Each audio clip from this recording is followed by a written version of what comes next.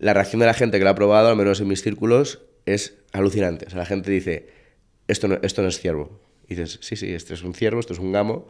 Dice, es imposible. digo, no, es que, es que es esto. ¿Por qué? Porque como tienen en su cabeza la imagen de un estofado como muy potente, que luego, ¿sabes? Vikingo, no va a poder. Le das este, este snack, que al final es un finger de ciervo, por llamarlo un poco de una manera comercial, y, y alucinan, ¿no? Bueno, Rafa, eh, bienvenido a uno de los episodios y la verdad de que tengo ganas de, de bueno, un ratito de... Bienvenida al podcast de Yomuela. ¿Qué tal todo?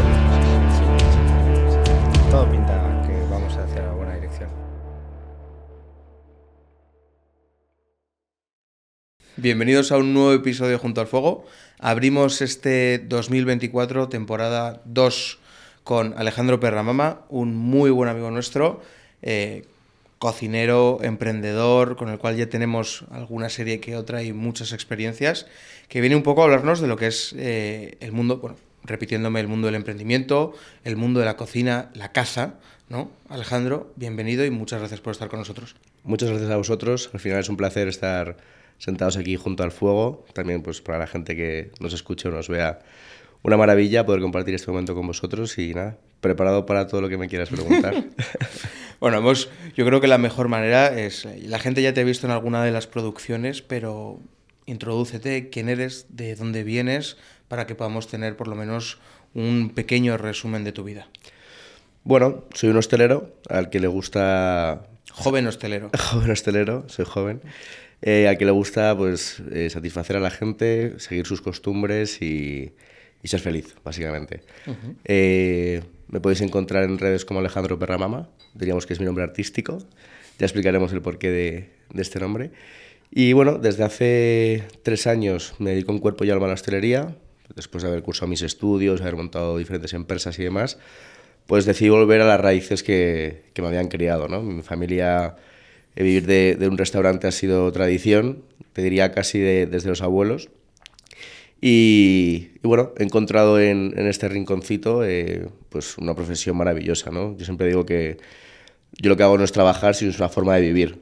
Aquí también pues me gusta recordar una frase de mi abuelo que a la gente en vez de preguntarle dónde trabajaba le pregunta tú de qué vives, ¿no? Pues yo vivo de, dar de comer a la gente y, crear momentos agradables, que es un poco el fin que tenemos en, en nuestros restaurantes. Y muy agradables además. de verdad, ¿eh? Eh, Te inicias con el, el jamón, ¿no? Me inicio en Bellana. Te inicias ¿vale? con Bellana. No, Eso pero te es. inicias ahí como empresario. ¿O no? ¿O tú, por- Bueno, ¿por ¿Dónde empiezas a, a a tocar, conocer, ¿no? a tocar?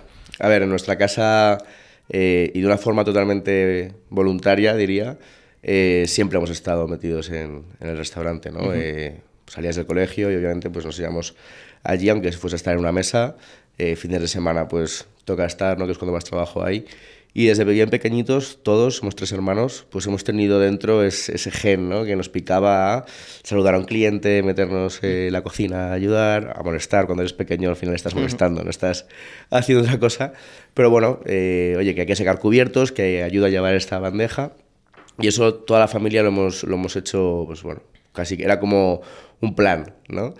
Eh, luego vas creciendo, ya pues obviamente vas apoyando de una manera más profesional. Eh, sí, es verdad que hemos pasado todos por todos los, los- los puestos que, que engloban un restaurante, ¿no? Pues como decía, desde secar cubiertos hasta estar en la barra, trabajar en sala, suplir a, a un camarero en un momento dado, eh, entrar en la cocina, eh, dirigir todo lo que es la partida. Bueno, pues gracias a Dios hemos podido tener una visión global. Nunca nos hemos dedicado exclusivamente a... Hablo de, de los hermanos, ¿eh? obviamente mis padres son eh, totalmente hosteleros. Nosotros pues lo compaginamos con nuestros estudios o cuando tienes 16 años pues para ganar tu dinerito y poder pues ir a, ir a tomar algo, un viaje, etcétera.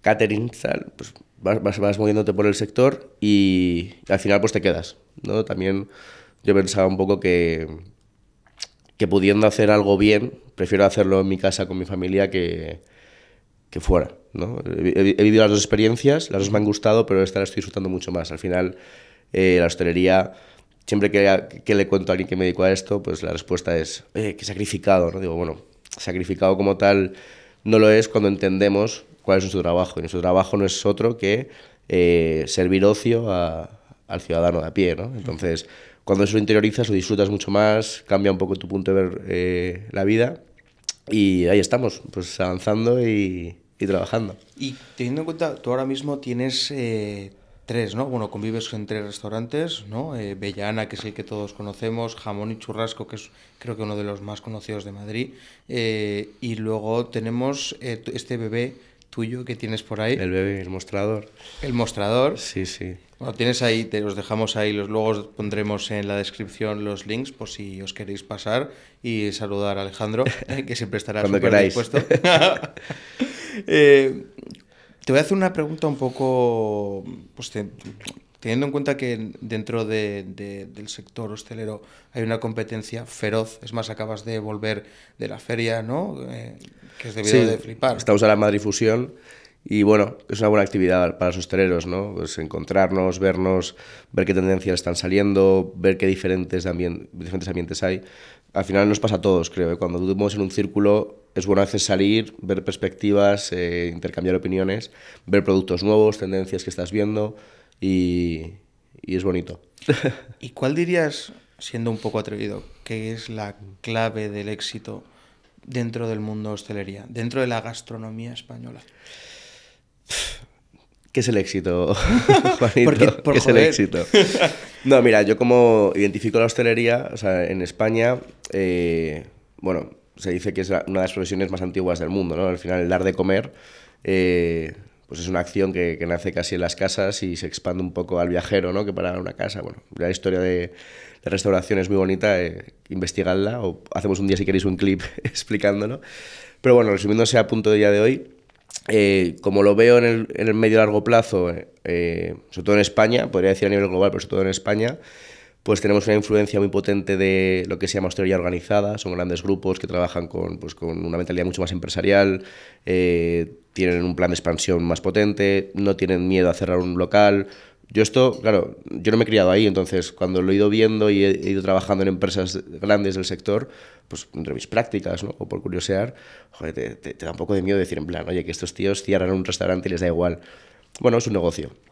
Luego estaría la parte de, de hostelería, no, ya, no, o sea, ya, ya no es restauración organizada, sino un grupo hostelero, pues grupos que tienen cinco, seis restaurantes, siete restaurantes, que siguen teniendo un contacto directo con la materia prima, que siguen teniendo un contacto directo con, con, con, pues, el jefe y, y- y el equipo, y pues luego los, los negocios más pequeños, ¿no? Eh, sí que me da pena que viendo un poco el futuro se van a perder pues las míticas tascas, tabernas. eh, ¿Sí? ¿Tú crees? yo creo que sí, pero por algo muy simple y es, es lógico. ¿eh? Eh, nuestra generación, o sea, nos han educado con una serie de estándares de comodidad y una serie de privilegios que nos merecemos que han hecho que mucha gente no esté dispuesta a pasar por el aro. ¿no? Veía hace dos días una noticia de que este año en España no sé si van a cerrar el 30% de las panaderías de pueblo. La cifra me la invento, ¿vale? Pero era un número o sea, muy importante, ¿no? ¿Y por qué? Porque no hay relevo generacional. ¿Qué pasaba en Tasca Maripuri cuando tú parabas eh, por la carretera? Pues que estaba el marido en la sala, la mujer en la cocina, era un matrimonio que trabajaba en su restaurante, eh, tenían pues un turno de 12 o 16 horas al día o 20 horas al día y, y vivían de ello, ¿no? Creo que esa- ese perfil se va a ir perdiendo por lo que comentamos de que, de que el, pues bueno, cada vez queremos vivir mejor, más cómodos, igual no estamos dispuestos a hacer tantos sacrificios, somos de otra pasta, también te digo. Yo valoro mucho la generación que nos precede porque bueno, pues han trabajado desde un plano mental muy diferente. Entonces, esos locales se sustituirán por, pues, y se puede ver, ¿no? Ya, ir por una carretera y encontrar un, un hostal de toda la vida, tal, es más complicado. Ya o han crecido, como puede ser, pues, por ejemplo, La Perdiz, ¿no? que es, es un complejo en la 4 maravilloso, o, o han pasado a ser pues, propiedad de Café Store, de La Pausa, bueno, pues de diferentes empresas que lo hacen bien, es decir, al final están dando el servicio de comida, tienen un sistema de turnos y remuneración para sus empleados, pero no encontramos igual ese, ese cariño ¿no? que le ponía antes un, pues, un tabernero, un hostelero, un fondero, que las fondas, las grandes conocidas de España, eh, a, a su producto. No me preocupa, es decir, eso también hace que todo evolucione y, y yo estoy de acuerdo en que, bueno, pues estar 20 horas al día metido en tu negocio para final de mes tener que estar haciendo maniobras y piruetas para, oye, es que no puedo pagar la luz, tal, pues debe ser una situación muy desagradable para mucha gente y, y que si podemos anticiparnos a eso y remediarlo, pues, pues va a ir bien. En general, eh, la hostelería nunca va a desaparecer. De hecho, si hacéis un balance en vuestro día a día, al final de mes, después del alquiler, donde más dinero se suele gastar la gente es en tomarse una cervecita, en comer, en picotear, me pido un globo a casa, eh, compro esta carne que me apetece. Entonces, es parte de, de, nuestra vida. ¿no? En otras culturas es verdad que no le da mucha importancia, pero vamos, dile a un español que no vaya a un bar. no puede.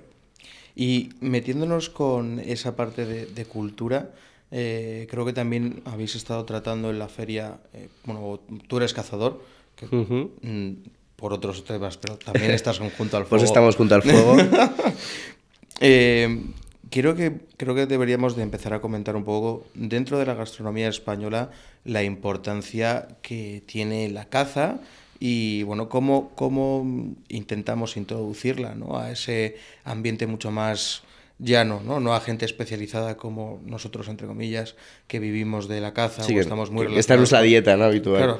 Entonces, eh, ¿qué opinas de, de, la introducción de la caza? O por lo menos, lo me lo has dicho tú antes, eh, Hispania, ¿no? Tierra sí, de Hispania, tierra de conejos, ¿no? O sea, creo que no hay mejor reflejo de dónde estamos y quiénes somos.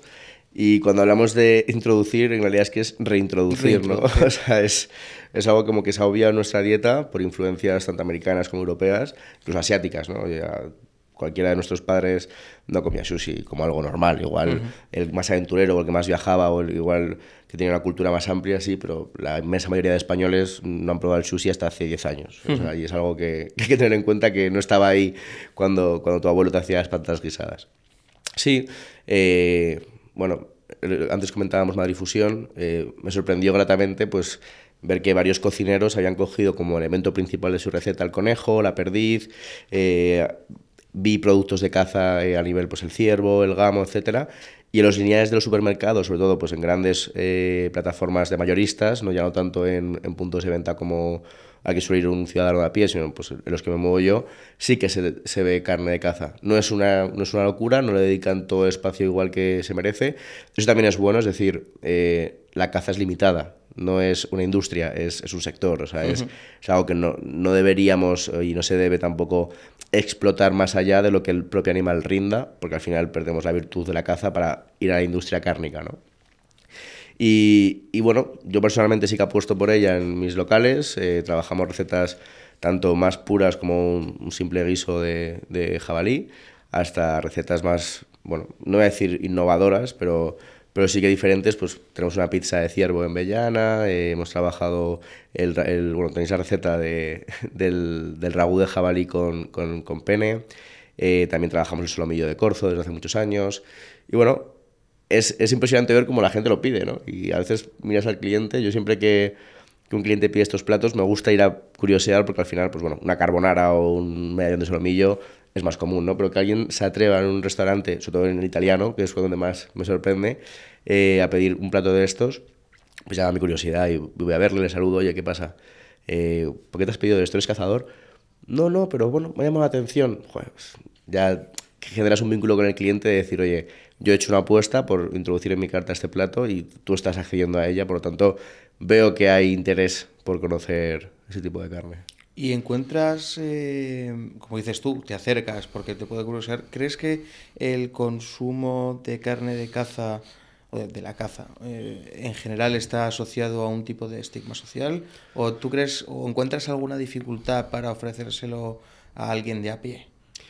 Pues sorprendentemente, eh, o sea, todos nos imaginamos que el que pide caza pues es el señorito, que uh -huh. pues como yo, ¿no? Con su camisa de cuadros, con la pulserita de pelo de elefante, que pues igual no es el que más caza consume, ¿no?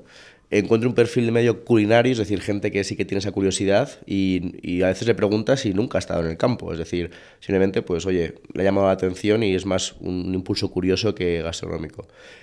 También me encuentro gente que, o sea, nadie me ha eh, reprochado que esté en mi carta, pero sí que me han preguntado, oye, ¿por qué tienes esto? ¿no? Ya es cuando pues saco, saco mi, mi speech, oye, yo es que soy cazador, eh, mis abuelos eh, es gente de campo, eh, pues bueno, yo ir a ver a mis abuelos era o ir a una aldea a Galicia o ir a un pueblo en Extremadura, ¿no? Y pasear con mi abuelo entre los olivos o ir a ordeñar vacas con mi abuela. O sea, tiene ese vínculo que a mí pues siempre, eh, o sea, como que es obvio en mi vida. Uh -huh. Y, y, la caza, pues, pues también lo es. Eh, oye, pues para proteger los maizales y que yo pueda tener eh, pienso para mis animales, tengo que protegerlo de los jabalíes porque como me entré una piara, me han destrozado media siembra. Oye, es que el zorro que se mete en mi gallinero eh, me está destrozando las gallinas y de estas gallinas yo vendo esos huevos para poder luego vivir. O sea, la caza también es parte de protección de, de, del ser humano para mantener su, su, su alimentación, ¿no? Uh -huh. Y más allá luego, pues el comérselo. Entonces, eh, a la gente no le sorprende. O sea, igual no ve, o sea, me gusta porque como que igual tienen la imagen del cazador como, bueno, como la han querido pintar muchas veces, ¿no? El, señorito que va, pega un tiro, eh, tiene su trofeo y, y, es un soberbio, ¿no? Que siempre va como asociada a esa imagen. Y esto es algo mucho más simple. Oye, es, es parte de nuestra cultura, es parte de, de nuestra alimentación y cuando a la gente se lo explicas con paciencia y sin intentar convencerle, simplemente le, les pones tu caso, pues la gente accede, ¿no? Y he conseguido que mucha gente que igual veía, me acuerdo de unos caderones que tuvimos de macho, que, que me preguntó, ¿qué es esto? No, sabía, no, visualizaba el animal, ¿no? Y digo, pruébalo. Lo probaron, qué, maravilla, qué exquisitez, eso está riquísimo. Saco la foto digo, mira, este es el animal. Ostras, pero eso no es la cabra, digo, es una cabra y una cabra está tan buena. Y digo, nunca habías comido esto, ¿verdad? No, pues atrévete, ¿no? Y bueno, pues métete en, en, esa cultura que es buena. ¿Qué pasa con la caza en muchos, muchos sitios? Pues que hemos ido a probar ciervo, hemos ido a probar eh, jabalí sobre todo, y eran pues grandes estofados, eh, carne que igual no estaba del todo bien preparada.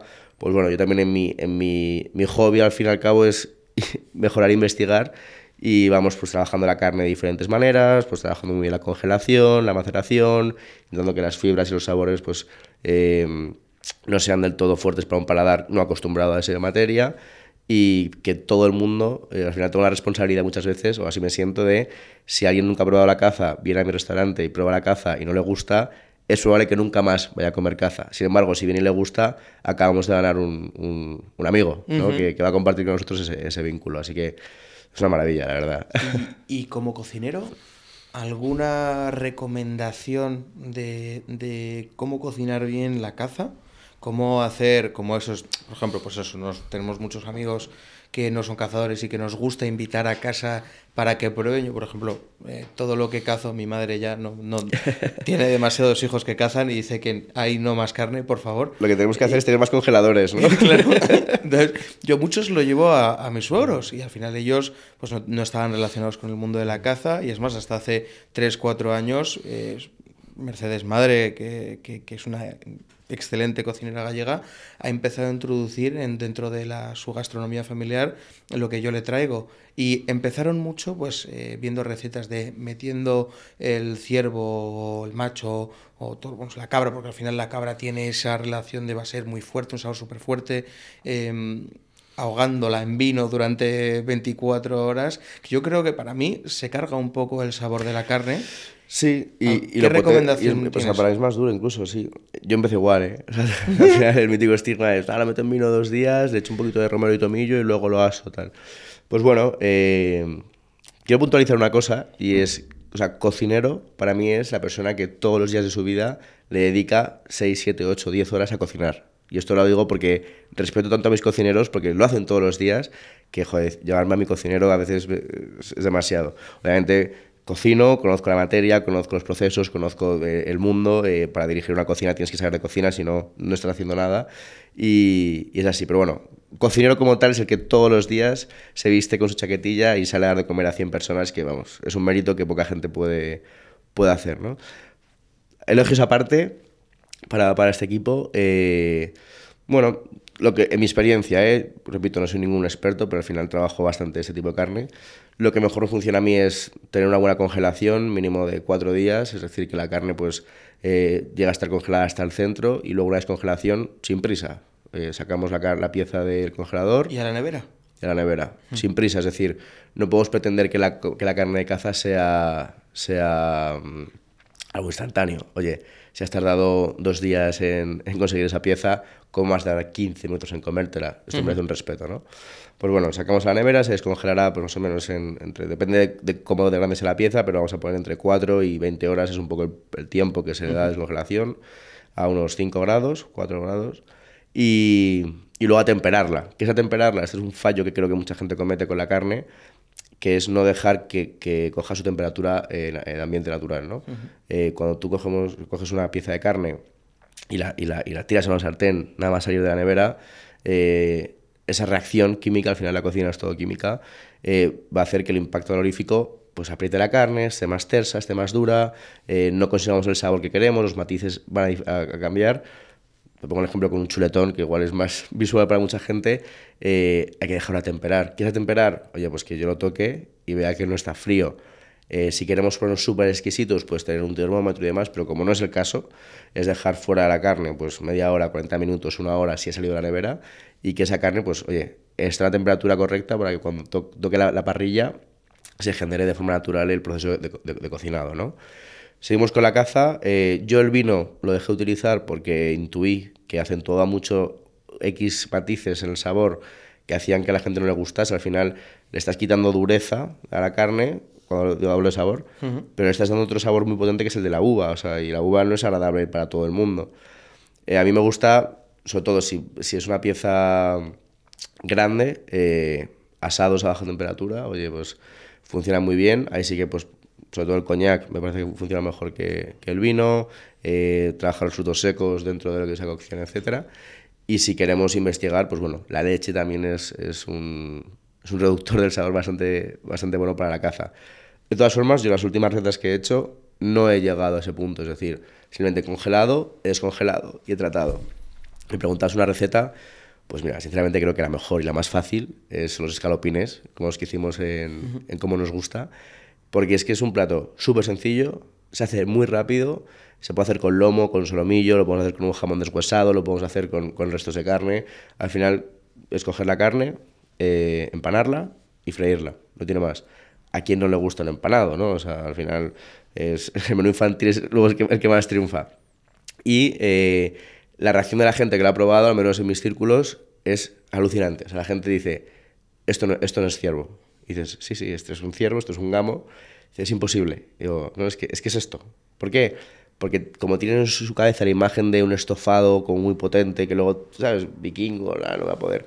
Le das este, este snack, que al final es un finger de ciervo, por llamarlo un poco de una manera comercial, y, y alucinan, ¿no? Oye, haces eso como un segundo plato y la gente va, va a flipar. Los tartares me parecen más atrevidos, porque al final el sabor sí que va a estar más presente, o el exceso de salsa perris, mostaza, alcaparra, limón, va a hacer que no estemos de verdad degustando esa carne y no deja de ser carne cruda, aunque esté marinada. Y, y luego las salsas. Es muy bueno hacer salsas como la boloñesa con, con carne de caza. ¿Por qué? Bueno, pues con el tomate vas a acompañar muy bien esos matices. eh, a nivel nutritivo, pues vas a recibir más aporte que con otro tipo de carne. Ahora hablaremos de esto.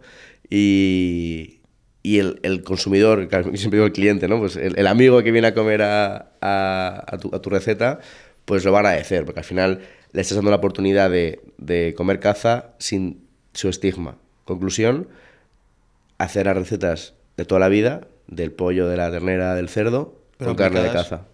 Y ya está, ¿no? O sea, creo que eso es un poco el desbloqueo mental que tenemos que tener.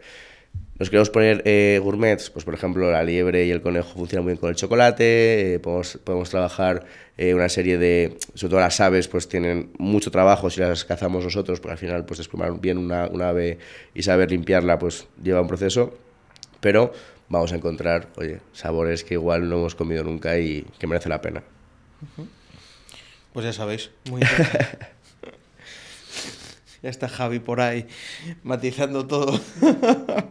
Oye, y aparte, le- cogiendo la parte de la, la, la vena del cazador, ¿no? Que tenemos que tomar, eh, porque al final tú te encuentras en un punto muy curioso, que es entre ese cambio de rifle y cuchillo. ¿no? Así es. Entonces, eh, esa creo que tú debes de tener una, una mente muy curiosa a la hora de, de- de efectuar un abate, eh, porque entiendo que no solamente estás viendo un posible trofeo, un posible recuerdo, sino que estás viendo eh, un animal que tú 100% quieres eh, comerte, quieres consumir y entiendo que, que prácticamente según lo estás viendo puede que hasta lo estés... eh, es- y, y- y prácticamente diseccionando. Entonces, eh, a la hora de enfrentarte a un tiro, que tienes que efectuar el abate, estás justo en el momento de- del lance. Eh, sé que no quieres entrar mucho en el tema de técnico, pero entiendo que hay partes, o por ejemplo, la gente siempre dice que cuando, eh, por ejemplo, un animal de montería tiende a estar más en tensión que un animal en rececho, que al final eh, no se espera el disparo. ¿Y, dónde, dónde debemos de efectuar un, un disparo para conservar la máxima carne? Entiendo que cuello, corazón... Claro, o sea, no voy a entrar mucho en técnico porque, de hecho, lo has comentado bien, yo disfruto más de la parte del despiece y de que, el disparo, ¿no? De hecho, he disparado muchas veces menos de las que podría haberlo porque disfruto más ver como un amigo eh, tiene ese momento y yo luego le, acompaño en el posterior, ¿no? Eh, lo has hecho muy bien, la montería al final eh, traes a 20 perros detrás, una corneta, estrés, eh, has recibido igual tres tiros que no te han dado, el animal y totalmente eh, en tensión y yo soy más pro de los recechos. También teniendo en cuenta que a nivel de práctica me gusta esa caza menor, me parece más dinámica y, y la disfruto mucho más. También por igual la experiencia pues, que tuve con mi padre cuando, cuando él cazaba, eh, pues, con, mi suegro, momentos que he tenido pues, han sido todos en caza, en caza menor. Y la caza mayor al final es, es el mayor aporte de carne que, que encuentro, ¿no? Y el poder liarme ahí pues 40 minutos con un animal a, a desollarlo, eh, esa parte que más respeto me da, eh, pues es, es magnífico. A nivel de carne, va a depender de qué queramos cocinar, porque el pescuezo de corzo eh, lleva mucho trabajo, pero está muy bueno, ¿eh? Y, y lo hemos probado un par de veces y, claro, cuando iba con, o con Carlos Merello fui hace poco a, a cazar un, corzo, bueno, fue, fue, fue mi suegro quien, quien lo batió, me hacía mucha ilusión ir con él, porque además, pues bueno, nunca hayamos tenido esa experiencia juntos. Y, de hecho creo que tengo un vídeo que podremos subir dentro de poco que es, pues oye, limpiando el animal y demás, lo hacemos en el río, pues saldrá alguien diciéndome que en el río no, porque tal, porque la, bueno, estamos en la naturaleza y esto es la naturaleza, o sea, no me voy a liar tampoco a, a poner muy exquisito. Pero vamos, el cuello sería, al menos esta parte del animal, o si no, para un impacto directo, ¿no? Es, pues, debajo de la axila, diríamos, para que lo entienda la gente que no es cazadora, serían un poco tiros, tiros limpios, ¿no? Utilizar una bala que tampoco se expanda mucho, que no destroce mucho lo que es el interior del animal, que no reviente las vísceras, al final, eso son cosas que van a hacer que la carne coja un sabor u otro, ¿no? Y, y luego, pues lo que tú dices, para mí el trofeo no es el, el, el, el, cuerno, no es la tablilla, para mí el trofeo es la comida que hago después de, de ese animal y las historias que me llevo. Eh, o sea, entiendo perfectamente que a la gente también le mueva el trofeo, es parte también de, del motivo de la caza, pero a mí nunca me ha hecho especial ilusión. De hecho, eh, si me dices que prefieres cazar, yo prefiero cazar una corza. Es igual la pieza que más, que más disfruto porque a nivel de carne es lo que más es, es, lo más exquisito, ¿no? Sí, corza eh, antes que gamo. Sí, me, me ha gustado siempre más. Eh, también por el tema de, quieras que no, el tamaño del animal influye luego a la hora de cocinarlo y, y, a la hora de conservarlo. Y también ha sido lo que más acceso he tenido a nivel de, de poder pues, disfrutarlo, ¿no? Entonces, bueno, las hembras siempre van a estar mejor que los machos. Eh, si, tenemos, si vemos que la población de cría es muy grande en alguna manada, que pues bueno, no ser, ser común, eh, la cría obviamente también va a ser siempre más, más, más tierna que un, un animal de 5 o 6 años. Y, bueno, y bueno, ¿qué hacemos con el ternero, no? El... Sí, o con el cabrito, el cochinillo. Sí, sí. Ahí, bueno, he visto es que estas navidades me ha hecho mucha gracia y lo voy a comentar. Eh, he visto muchos vídeos de, de gente eh, yendo al supermercado. Bueno, empezar el vídeo como diciendo: En Mercadona venden cachorros de perro eh, para muertos. Claro, clickbait, la gente ya, oh, ¿qué es esto, no? Entonces entra el tío a Mercadona, un mítico youtuber, blogger, estamos aquí en Mercadona y vamos a ver los cachorros de perro muertos, utilizando la palabra perro como para que la gente... Uh -huh. Y haya un cochinillo. Eh, claro, es un cochinillo, si tú lo ves, es, es un animal eh, que no llega al año, uh -huh. dependiendo de cuál compres va a tener un tamaño u otro, el cordero es lo mismo, un lechal, o sea, se llama lechal porque bebe leche, no es, por, no es porque sea el color o que de leche, sino porque es un bebé y, y como que se... Oh, es que menudo, menuda masacre, ¿no? Tal. Oye, es que esto es parte de nuestra alimentación, o sea, eh, cuando tú estás criando animales, eh, hay una parte que va a la producción de leche, en el caso de las, las vacas, eh, las ovejas y demás, hay una parte que va a la producción de, de carne, un cerdo eh, tiene 6, 7, 8 crías, produce muy rápido, o sea, son animales que genéticamente podemos decir que están programados para alimentarnos, ¿no? Hmm. Más allá de lo que cualquiera pueda opinar. De hecho, pues bueno, me gustaría ver algún comentario de, de polémico para que podamos contestarle con todo el cariño del mundo para, para explicarle, ¿no? Entonces, claro, la gente como que se asusta y dices, a ver, que es que, que es que vivimos de esto. O sea, los animales para llegar a la, a la bandeja de, de- del lineal del supermercado han nacido, eh, se, han- se han sacrificado, han pasado un proceso. Entonces, bueno. Y lo que decíamos del cuchillo, para tampoco irme mucho por este tema, eh, sí, me gusta, o sea, me parece que es la mejor forma de respetar al animal, eh, dedicarle tiempo, tener herramientas, por ejemplo, las bolsas que trabajáis de, de carne han sido un gran descubrimiento para mí, al final pues sí, íbamos con bolsas de plástico, tal, con, no, ahora vamos con la bolsa de algodón, se limpia. La bolsa, la bolsa de plástico, al final, mm, por lo, por lo que nosotros tenemos entendido y es por lo que hemos querido sacar este producto al, al mercado español, es eh, la bolsa de plástico. Primero que es plástico, puede tener, eh, ahora mismo nos estamos encontrando bolsas de basura con olor, ¿no? Para, entiendo que eso, A pino, juntar- tal. claro, juntarlo con la carne no te la va... Al final es lo que dices, o sea, mira, no soy científico ni tenemos ningún estudio probado. Obviamente, eh, había una diseñadora, eh, una diseñadora industrial muy famosa, no me acuerdo el nombre, y en una charla decía: todo packaging es un error de diseño. Es decir, eh, que tú tengas que hacer una caja para llevar algo es un error de tu diseño. La naturaleza no tiene eso. Un plátano tiene una cáscara que le protege para que el producto esté dentro. Entonces, hablaba de esto y es para reflexionar, ¿eh? O sea, está muy bien. Entonces, ¿en qué momento eh, aplicamos la bolsa? O sea, ya me parece un paso, ¿eh? El que lleva bolsas que quiere llevarse carne. ¿Qué suele pasar? Que tienes la bolsa del supermercado que has reciclado, que no has lavado y has llevado antes cebollas tal y cual, que tienes la bolsa basura, que es lo que más se ve, y al final la bolsa basura te va a dar dos cosas. Una, eh, ya no es un sabor súper potente, pero sí que te va a dar que va a estar cerrado a un nivel que es que a la mínima, que tardes dos tres horas en volver a casa, que no, tengan, que no tengas, porque ya lo ideal sería obviamente tener una nevera isoterma con unas placas de frío, la- yo intento tener eso, no siempre se da la situación, ¿no? Pero, pero este, este avance que cre- creo que bueno, habéis dado un paso eh, alucinante y que yo lo estoy disfrutando, es sobre todo que, que la pieza llegue mucho mejor, que, que el transporte sea mucho más cómodo también, porque es muy resistente, que, que preservemos esa naturaleza, pues al final es 100% algodón, con, con la carne, no estamos metiendo químicos, no estamos introduciendo ningún elemento extraño dentro del proceso y, y es bonito, ¿no? Entonces, bueno, son herramientas que ayudan mucho a que esto avance, al igual que tener un buen cuchillo, tener un buen afilador es básico, al final un cuchillo mal afilado mm, te va a destrozar la carne, no vas a poder sacar los lomos, te vas a frustrar, eh, no vas a poder desollar bien al animal. Entonces, oye, las- Esto te pasa tanto como en el campo como en la mesa. Bueno, pasa no- en todos lados. No hay nada peor que estar en un restaurante comiendo carne y que te den un cuchillo. Bueno, a mí eso me desespera. Que no corta. No, no, es que te estás. te- en Hablando mal y pronto, te jode la experiencia. Sí, sí, correcto. Oye, en casa, o sea, oye, son herramientas. eh, tenemos que tener nuestras herramientas siempre cuidadas y pues tener en tu casa un cuchillo que no corta. A mí me pasa muchas veces que voy a casas de amigos, de familia, tal. Ah, bueno, pues estamos cocinando, pues yo siempre, oye, ¿qué te ayudo? Oye, pues pícame esta cebolla, o, oye, ayúdame con esto. Vas a cortar, para empezar, parece que el cuchillo está totalmente eh, abandonado. Parece que tú lo compras y ya se mantiene solo, ¿no? Lleva mantenimiento.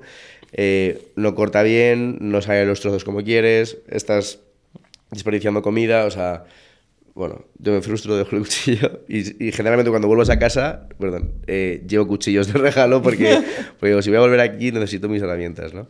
Entonces, bueno, el momento de, de más respeto para el animal es el de, el de pues bueno, darle una buena salida, eh, desollar bien el animal, aprovechar las partes, también es un momento de repaso, ¿no? Al final, cada vez que hablas, o sea, son todos iguales, pero cada animal es distinto, ¿no? y, y te encuentras pues cosas que, que igual no te acordabas o, o has investigado justo antes y con más cariño pues te fijas más en, en- en la parte de la punta del solomillo, eh, oye pues voy a aprovechar igual la cara de este, una vez hice un experimento con, pues, con la cabeza jabalí y dije oye la voy a tratar igual que el cerdo, voy a intentar hacer una careta de, de, de jabalí, oye sale muy bien y obviamente no son carnes totalmente iguales pero tiene algo que ver. Y la carne que no te puedas llevar porque, oye, pues por el impacto ha quedado deteriorada, o porque justo al abrir le hemos raj- rajado una víscera y hemos contaminado la carne, que a todos nos ha pasado, es decir, yo creo que nadie aquí es perfecto y, oye, estás en el campo, a veces vas incluso con una navajilla que no está ni afilada y tienes que buscarte un par de piedras, igual tienes prisa porque tienes que volver, bueno, puede haber mil circunstancias que hacen que no tengas todo el tiempo del mundo ni todas las herramientas para hacerlo bien y puedes pinchar una tripa, o sea, no, que nadie se sienta mal por, por esto. Pero bueno, esa, esa carne, esa piel, ese, mm, esa víscera, no se va a quedar ahí. Es decir, va a venir un rapaz, va a venir un, carroñero, eh, va a venir un gusano y se va a alimentar. Entonces, eh, cuando no como yo, están comiendo otros, que también es parte de lo bonito. No, no, no existe residuo en la caza más allá del que dejemos los hombres. Es decir, la colilla que tú te dejas, la lata que has tirado o tal, cosas que para mí están totalmente prohibidas en el campo, pues que tengáis en cuenta que eso mancha más o contamina más que cualquier animal que dejes eh, pues eso, con el pellejo y las vísceras, que los animales lo van a agradecer infinitamente. Vale. Y creo que aquí entramos en una parte muy interesante que es eh, que al final intento tratar siempre con personas como, como tú que estáis íntegramente relacionados con el mundo rural y esa diferenciación que hay entre el mundo rural, eh, la ciudad, cómo interaccionamos con ellos, cómo podemos ayudar desde la gente que vivimos nuestra vida diaria en la ciudad, cómo podemos fomentar el consumo, del, aunque lo consumimos siempre porque sin el mundo rural la ciudad no existiría, No existiría. pese que quieran meternos todos los sintéticos que quieran, al final lo que consumes es lo que viene del mundo rural. Eh, ¿Cómo podemos favorecerlo? Por ejemplo, creo que hay una cosa que la gente no entiende, eh, que es hacer bien la compra. ¿no? Cómo podemos comprar bien de una manera ética, de una manera que realmente no nos haga un costo tan fuerte a nuestro bolsillo y que intentamos no correr, porque al final los supermercados creo que nos han facilitado ese eh, ir a toda leche. Bueno, salimos de trabajar a las 8, salimos de trabajar a las 9, quieres ir al gimnasio, quieres estar con tus amigos y al final no le dedicas tiempo a, A lo más importante, a ¿no? tu gasolina, ¿no? A tu, a tu a, lo que hace que te muevas un día más, eh, a lo que estés sano, a lo que hace que todos. A ver, las ciudades van muy rápido, Juan, y la gente al final, yo no entiendo, ¿no? Eh, un supermercado es muy cómodo, eh, no te voy a decir que no voy al supermercado porque voy al supermercado. Es muy cómodo tener 40 minutos y poder comprar eh, tus elementos de limpieza, tus us- básicos de casa, etcétera. Y creo que están para eso, es decir, oye, que el papel higiénico, el jabón, eh, las especias, el tal, lo tengas un poco así a mano y lo compres ahí, me parece bien. Ahora sí que, eh, obviamente, un mundo idílico para mí sería, bueno, para mí sería tener mi granja y poder alimentarme de mis productos, eso es mi objetivo de vida y lo dejo aquí grabado para cuando lo cumpla, que, que quede aquí firme, pero, pero obviamente eh, tenemos que tener en cuenta ese tipo de, de proveedores, ¿no? Por varios motivos. El primero es por el tiempo y el cariño que le dedican. Eh, este año, si todo va bien, en cómo nos gusta, vamos a ver o vamos a hablar con ese tipo de gente para que lo conozcamos mejor, porque es que es una maravilla. Y, y repito, es gente que no tiene un trabajo, tiene una forma de vida, ¿no? Y su forma de vida igual es ser carnicero, agricultor, eh, igual es, simplemente se dedica a ir con tractores por fincas de, de- de vecinos, a arar. O sea, hay un proceso que, es, que hay que vivirlo y hay que conocerlo, ¿no? Eh, quien tenga un mercado cerca de casa, que lo aproveche, ¿vale? Tenemos que diferenciar mercado de mercado. Es decir, un mercado tradicional con, con- con un carnicero, con un, con un pollero, que siempre han estado separados, no sé por qué, siempre me ha hecho mucha gracia que sea el carnicero y el pollero, un pescadero, tal, conocer ¿no? el animal completo. eh, a mí me pasa muchas veces en mi compra rutinaria de, de los restaurantes, o sea, el pescado, la mayoría voy yo a elegirlo y me gusta verlo, la pieza entera. Y alguna vez, pues un amigo me acompaña, tal. Y obviamente, pues ya pongo en posición de, de abuelete, manos atrás, a, a ver un poco. Al final, saber es comparar. Si tú has visto muchas piezas, vas a poder saber cuál está bien y cuál está mal porque te lo han explicado y porque lo has visto. Nadie sabe sabiendo. Entonces, pues ves un- igual una merluza que está bien machacada, igual ves, oye, este animal lleva en la cámara unos cuantos días, la mítico del ojo que debe estar más seco, bueno, historias, ¿no? Y la gente alucina y dice, ah, pero que esto, esto es un salmón. Claro que es un salmón. Ah, que esto es, esto, esto es un rodaballo. Joder.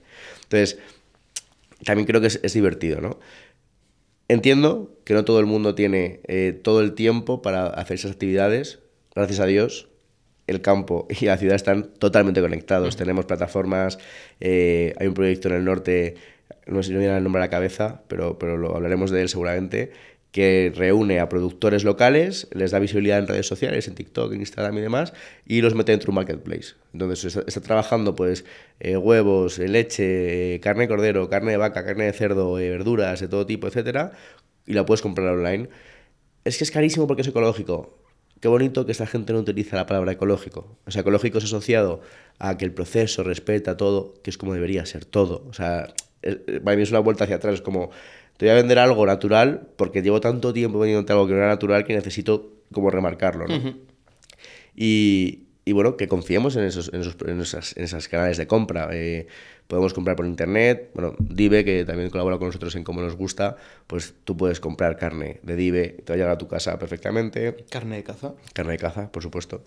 Eh, verduras, eh, sí que se, se conozco varios proyectos de, sobre todo naranjas, de que puedes comprar naranjas online al productor final. Y, y bueno, vamos a, a nivel económico, hay veces que va a ser un pelín más caro, obviamente hay que, que comparar qué estamos comprando, ¿no? No es lo mismo eh, un filete de, de una bandeja pro- ultraprocesado que se ha criado en una estabulación intensiva, que el animal ha estado eh, sometido a tratamientos veterinarios, tratamientos de, de estabulación que bueno, pues no para mí son del todo éticos, ¿no? Criar a una vaca en una, en una celda me parece mucho menos sano que, que comerte un ciervo, pero bueno. O, ca- o carne que está en la dehesa, o sea, o que está Correcto, no, no, no la caza, o sea, Sí, al final sí. es parte del ecosistema, bueno, como tú lo, lo has dicho. Entonces, igual creemos que, el otro día hacía la comparación con el pollo, ¿no? El pollo en, en Mercadona, eh, la pechuga de pollo, la bandeja está a 7, no sé si llega a los 2 kilos, 7 euros y algo. En un pollero igual es esa misma cantidad, est- estamos pagando 50 céntimos, un euro más. Es tanto.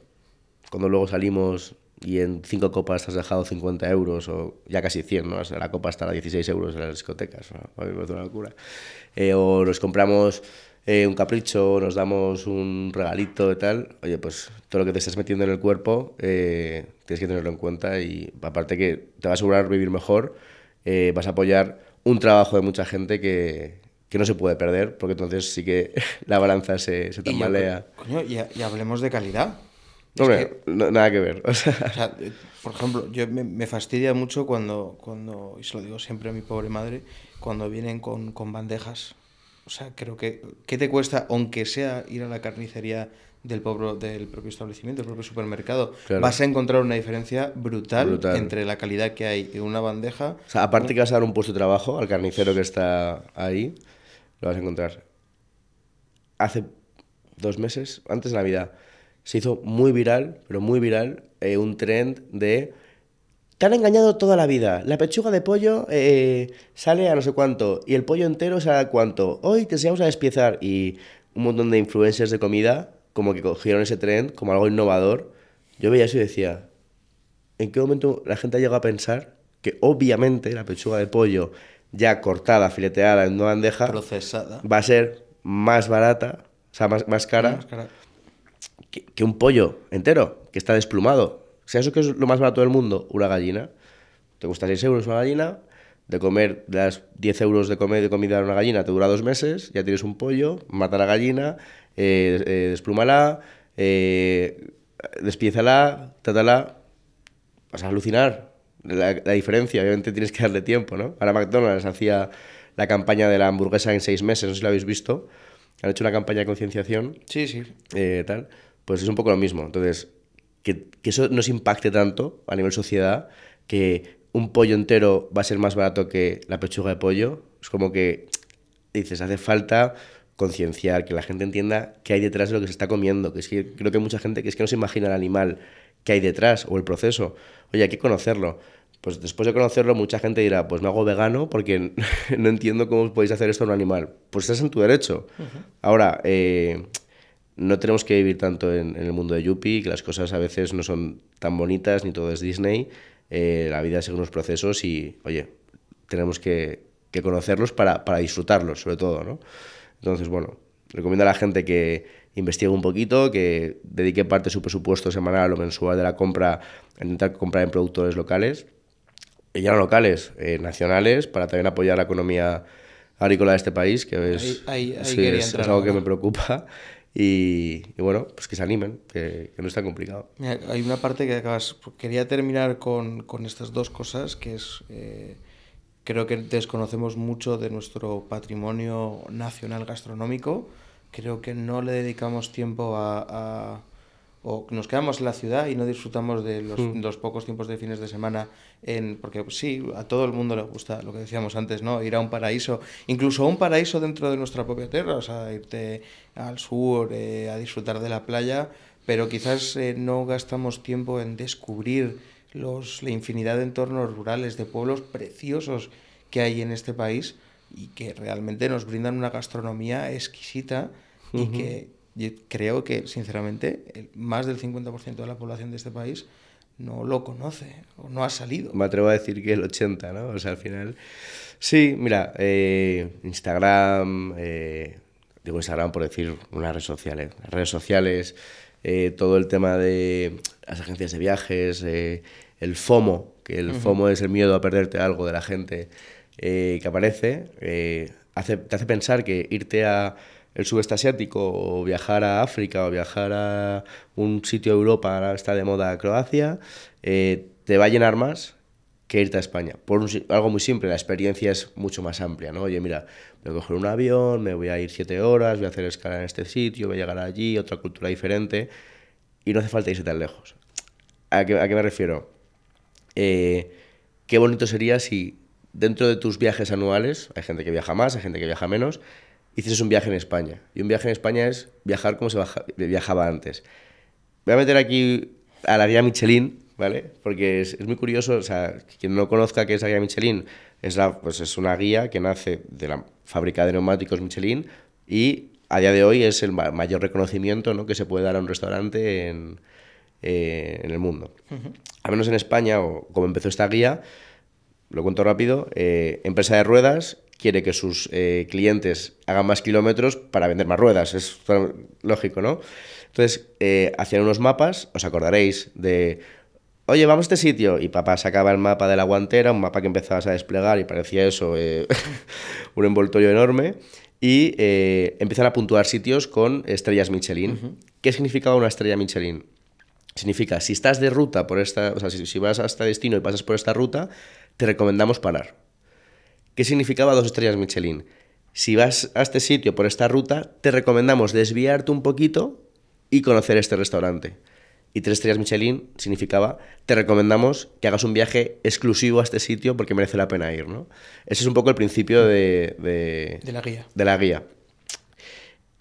Ahora, ¿por qué no seguimos haciéndolo? Es decir, ¿por qué cuando nos vamos por... A mí, por ejemplo, me encanta perderme por nacionales.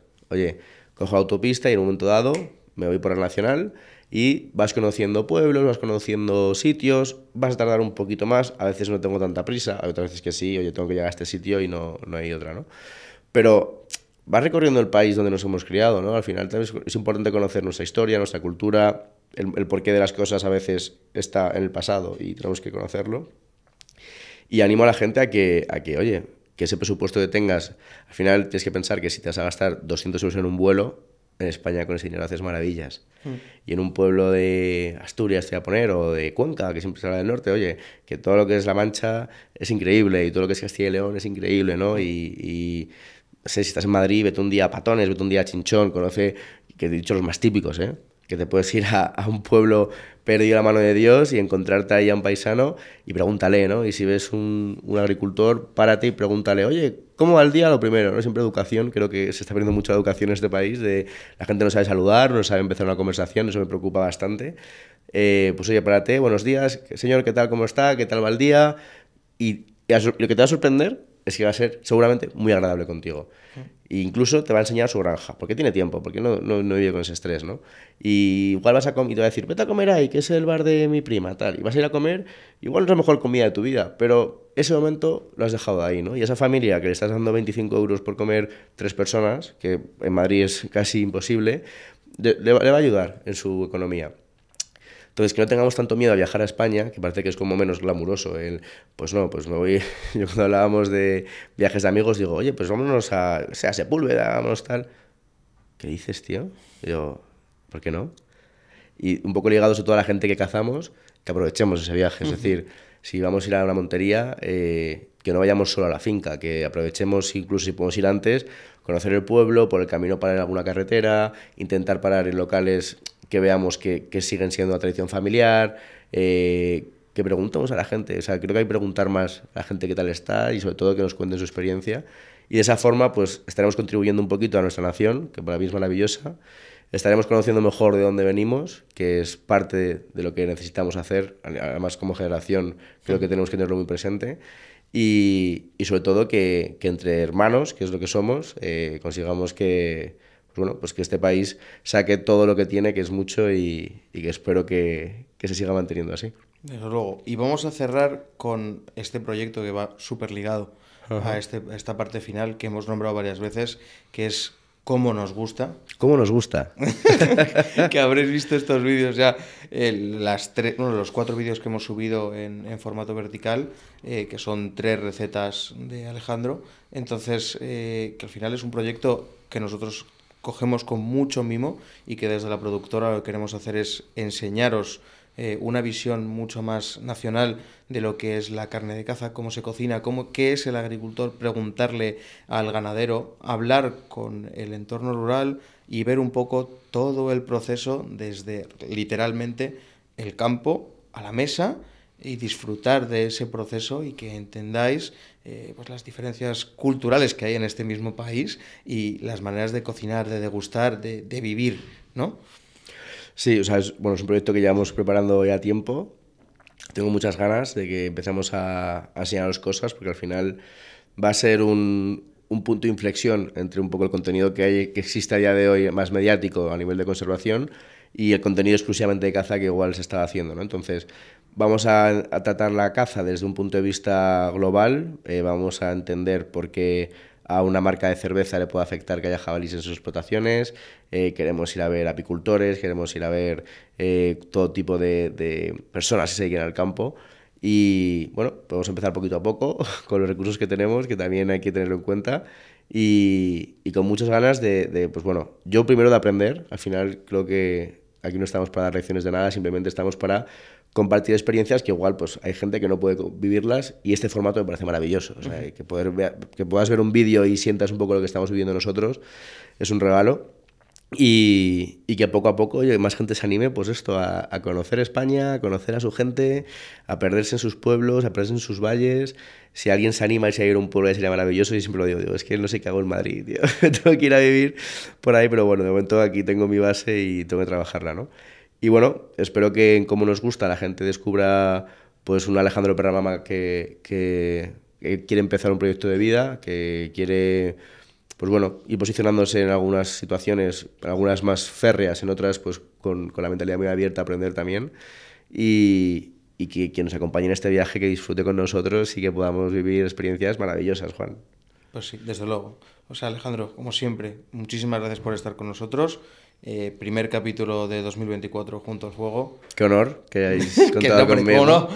De verdad, millones de gracias por estar con nosotros y os dejaremos en la descripción de este vídeo de YouTube, bueno, o si nos veis desde, desde solamente Spotify, que sepáis que os podéis meter, que os dejaremos todos los enlaces para que descubráis los proyectos que tenemos y la serie de cosas que hemos ido hablando durante, durante este proyecto.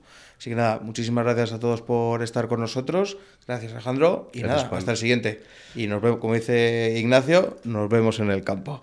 Junto al fuego. Junto al fuego. Hasta luego, muchas Hasta gracias. luego, muchas gracias. Bueno, Rafa, eh, bienvenido a uno de los episodios la verdad es que de tenía ganas tener un ratito de... Bienvenida al podcast de Young One. ¿Qué tal todo?